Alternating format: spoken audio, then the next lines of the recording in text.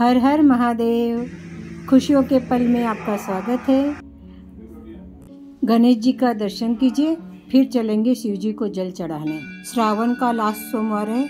मैं अपने सखियों के साथ पिपलेश्वर मंदिर आई हूँ। नमः शिवाय, ओम नमः शिवाय। हर हर बोलो नमः शिव का जाप करते हुए सभी ने अच्छे से पूजा किया। और प्रार्थना किए कि सब पे उनकी कृपा दृष्टि बनी रहे। श्रावण का महीना है। हरी हरी चूड़ी हरी हरी साड़ी पहनकर पूजा करना सौभाग्यशाली माना जाता है। बाहर प्रकृति का आनंद लेते हुए हम सब बहुत सारी बातें किए।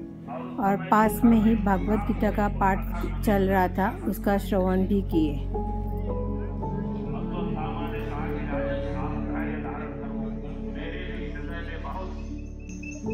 जो क्रोध की ज्वाला है ये धड़क रही है।